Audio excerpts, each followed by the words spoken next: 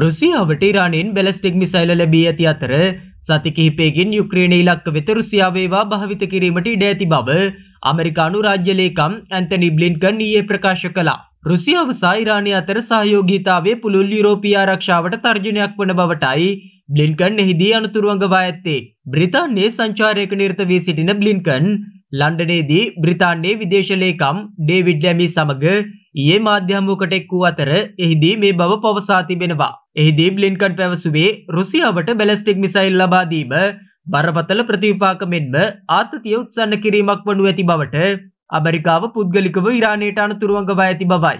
ඉරානයේ මෙම ක්‍රියාවට එරෙහිව පසුව නව සම්බාධක පනවන බවද අමරිකානු රාජ්‍ය ලේකම් ඇන්තනි බ්ලින්කන් එහිදී පවසා තිබෙනවා. රුසියාවට දැන් මෙම බැලස්ටික් මිසයිල් සමග නැව්ගත කිරීම් ලැබී ඇති අතර යුක්‍රේනයට එරෙහිව සති කිහිපයකින් යුක්‍රේන ඒවා භාවිත කරනු ඇත.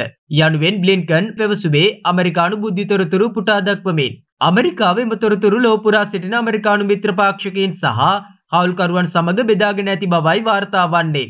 ඉරාන මිසයිල සැපීම රුසියාවට යුක්‍රේනයේ ඉදිරිපෙළේ සිට තවත් ඉලක්ක සඳහා තමා විගබඩාව වැඩි වශයෙන් භාවිත කිරීමට හැකිවන බව බ්ලින්කන් පෙන්වා දී තිබෙනවා.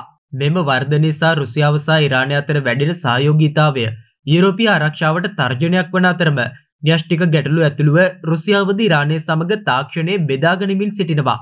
යනුවෙන් ඔහු වැඩිදුරටත් පවසා තිබෙනවා. ඉරානයට එරෙහිව ඇමරිකාව පැනවීමට අපේක්ෂිත අතිරේක සම්බාධකවලට ඉරානය යගුවන් සේවය ඇතුළත් වන අතර අනෙකුත් රටවල්ද නව සම්බාධක ප්‍රකාශයට පත් කිරීමට අපේක්ෂා කරන බව බ්ලින්කන් පැවසූ බව රොයිට පුවත් සේවේ වාර්තා කළා.